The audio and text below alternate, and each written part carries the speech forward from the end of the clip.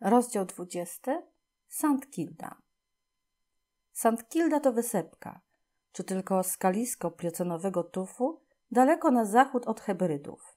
Kilka niskich brzózek, garść wrzosu i ostrej trawy, stado gnieżdżących się tu mew i napoły arktyczne motylek rodzaju poliomatus.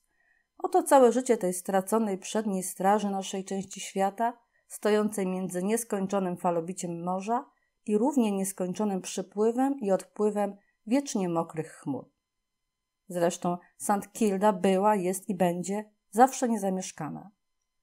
Ale w ostatnich dniach grudnia zarzucił tu kotwicę statek IKM Dragon. Statek wysadził na ląd cieślów, którzy z przywiezionych belek i desek zbudowali do wieczora duży, drewniany, niski barak. Dnia następnego przyjechali tapicerzy i przywieźli najładniejsze i najwygodniejsze meble. Trzeciego dnia wylądowali tu stewardzi, kucharze i kelnerzy i nas wozili do baraku mnóstwo naczyń, win i konserw i w ogóle wszystkiego, co kultura wynalazła dla dostojnych, łakomych i potężnych panów. Na czwarty dzień z rana przypłynął statkiem HMS Edwin R.H. Sir O'Patterney, angielski premier. Po upływie pół godziny przypłynął poseł amerykański Horatio Boom. Potem po kolei, każdy na statku wojennym. Chiński pełnomocnik Mr. Kay, premier francuski Dondier, carski generał rosyjski Buchtin, cesarsko-niemiecki kanclerz dr Wurm, włoski książę Trivellino i japoński ambasador Yanato. Szesnaście angielskich torpedowców krążyło wokół St. Kildy, aby uniemożliwić dostęp reporterom, albowiem zjazd ten Najwyższej Rady Wielkomocarstwowej, pośpiesznie zwołany przez wszechmogącego sera Opaterneja, miał się odbywać przy najściślejszym wyłączeniu publiczności. Istotnie, torpedą został zatopiony duński szkuner do połowu wielorybów Nils Hans, który próbował prześliznąć się w nocy przez łańcuch torpedowców. Oprócz dwunastu ludzi załogi Zginął przy tej sposobności reporter gazety Chicago Tribune, Mr. Joe Hasnake.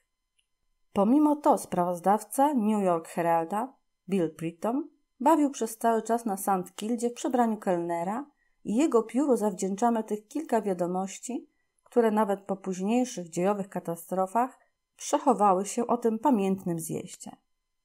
Pan Bill Pritom twierdził, że ta wysoka konferencja polityczna dlatego odbywała się na miejscu tak opuszczonym, aby była wyłączona bezpośrednia ingerencja absolutu na jej uchwały.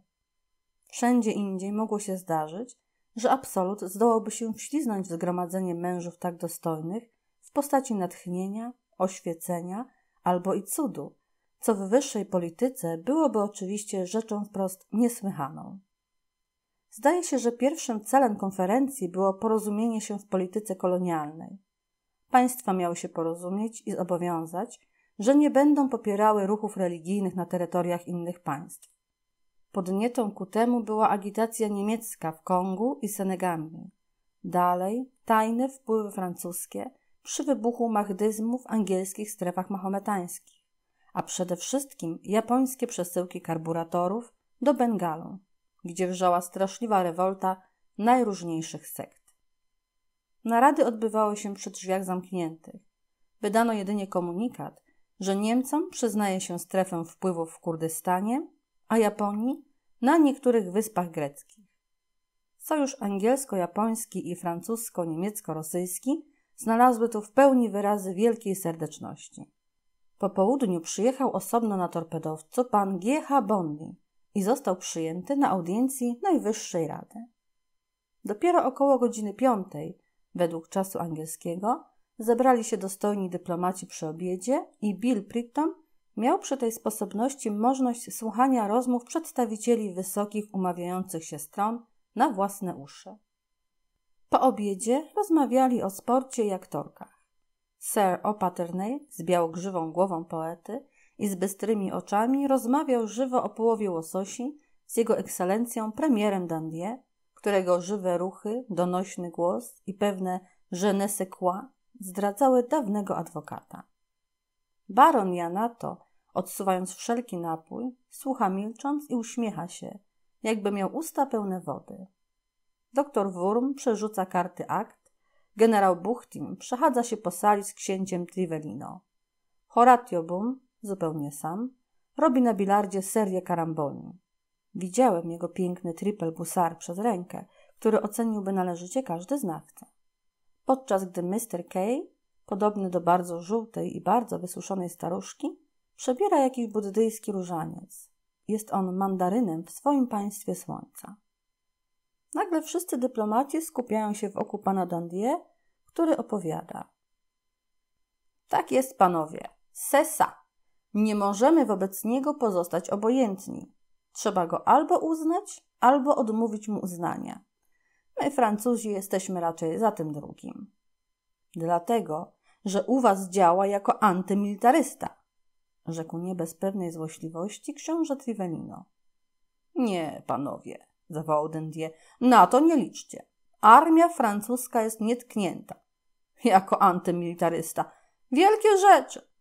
U nas nie było już tylu antymilitarystów. Panowie, dobrze go pilnujcie. Jest to demagog, komunista, on bigot. Diabli wiedzą, co tam jeszcze, ale zawsze radykał. Oui, un rabulis, c'est ça. Trzyma się najdzikszych popularnych haseł. Idzie z tłumami. U was, wasza książęca mość, zwrócił się nagle do księcia Trivellino, jest nacjonalistą i upaja się iluzjami Imperium Rzymskiego. Ale baczność książę, takim jest tylko po miastach, podczas gdy na prowincji trzyma z klechami i wyczynia mariańskie cuda. Jedną ręką pracuje dla Watykanu, drugą dla kwirynału. Albo jest w tym jakiś zamiar, albo, czy ja wiem? Moi panowie, możemy powiedzieć to sobie szczerze. Wszyscy mamy z nim kłopoty niemałe. U nas, rzekł w zamyśleniu Horatio Bum, opierając się na kiju bilardowym, interesuje się także sportem. Indeed, a big sportsman. Faworyzuje wszelkie rodzaje gier sportowych. Osiągnął bajeczne rekordy w sporcie i w sektach. Jest socjalistą. Trzyma z mokrymi.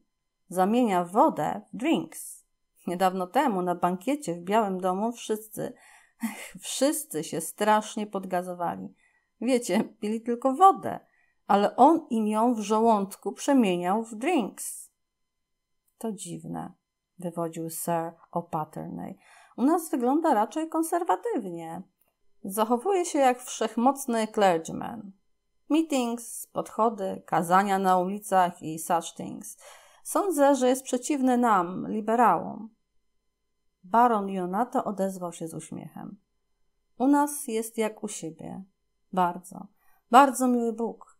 Bardzo się przystosował. Bardzo wielki Japończyk. Jaki tam znowu Japończyk? zawołał warkliwie generał Buchtin. Co wy gadacie, Patiuszka? To Rosjanin, prawdziwy Ros, Słowianin. Szeroka ruska dusza, ekscelencją. Trzyma z nami, murzykami. Niedawno nasz archimandryta urządził mu procesję. Dziesięć tysięcy świeczek, a ludu gaspada, jak maku. Zjechały się dusze chrześcijańskie z całej matuszki Rasyi. I cudy nam robi ojciec nasz dodał generał, żegnając się i kłaniając po pas. Cesarski kanclerz niemiecki podszedł do rozmawiających i po chwili milczącego przysłuchiwania się rozmowie rzekł: Tak, potrafi podobać się ludowi. Wszędzie przybiera mentalność danego kraju. Jak na swój wiek jest zdumiewająco ruchliwy. My to stwierdzamy na sąsiadach. W Czechach na przykład zachowuje się jako kolosalny indywidualista. Każdy ma tam swój absolut na własną rękę. U nas mamy absolut państwowy. U nas absolut dojrzał natychmiast do wyższego państwowego uświadomienia. W Polsce działa niby jakiś gatunek alkoholu. U nas działa jako, jako Hurche Ordnung, mich. Czy także w waszych krajach katolickich? Z uśmiechem pytał książę Trivellino. To są takie lokalne różnice, odpowiedział doktor Wurm. Niech panowie tego nie przeceniają. Niemcy są tak zjednoczone jak nigdy dotąd, ale dziękuję waszej książęcej mości za katolickie karburatory, które do nas przemycacie. Na szczęście są kiepskie jak wszystkie włoskie wyroby. Spokojnie, spokojnie, panowie, wtrącił się w rozmowę Sir O'Patterney. W zagadnieniach religijnych neutralność. Co do mnie, to łososie łowię na haczyk dwoisty. Onegdaj złowiłem łososia takiej długości. Widzicie, panowie? Czternaście funtów. A nuncjusz papieski? Zapytał doktor Wurm. Stolica Święta prosi, abyśmy utrzymali pokój za wszelką cenę. Żąda, aby mistycyzm został policyjnie zakazany. W Anglii nie da się tego zrobić w ogóle. Mówię wam, panowie, czternaście funtów. Heaven. Musiałem się dobrze trzymać, żeby nie wpaść w wodę. Baron Janato uśmiechnął się jeszcze grzeczniej. Ale my nie chcemy neutralności. On jest wielki Japończyk. Cały świat może przyjąć japońską wiarę. My także chcemy rozsyłać po świecie misjonarzy i nauczać wiary. Panie baronie, rzekł Opatryn bardzo poważnie, wie pan, że świetne stosunki naszych państw Anglia może przyjąć wiarę japońską, uśmiechał się baron Janato, i stosunki będą jeszcze świetniejsze. Słuchaj, Batiuszka, zawołał generał Buchtin. Nie chcemy żadnych japońskich wiar. Jeżeli ma być wiara, to niech będzie prawosławna. Niby dlaczego? A dlatego po pierwsze, że jest prawosławna. Po drugie, że jest ruska. Po trzecie, że tego chce nasz car. A po czwarte, że my mamy, mości panowie, największe wojsko. Ja, moi panowie, prosto po żołniersku. Po prawdzie i sprawiedliwości. Jeżeli już jakaś wiara, to tylko nasza prawosławna. Dajcież spokój, panowie, rzekł wzburzony Sir O'Patterney. Nie na to się tu zebraliśmy przecie. Całkiem słusznie, rzekł doktor Wurm. Musimy się porozumieć co do wspólnego dimanche wobec Boga. Którego? rzekł nagle chiński pełnomocnik Mr. Kay, podnosząc wreszcie pomarszczone powieki. Którego? powtórzył zaskoczony doktor Wurm. Przecież jest chyba tylko jeden. Nasz japoński. Uśmiechał się przymilnie baron Janato. Prawosławny Patiuszka i żaden inny! krzyczał generał, czerwony jak indyk. Budda, rzekł Mr. Kay i spuścił powieki całkiem już teraz podobne do wyschłej mumii. Sir O'Patterney zerwał się gwałtownie. Gentlemen, rzekł, proszę, pójdźcie za mną. Po czym panowie dyplomaci udali się znowu na salę obrad. O ósmej wieczorem wybiegła jego ekscelencja generał Buchtin z twarzą już purpurową i z pięściami zaciśniętymi. Za nim doktor Wurm, układając swoje akta.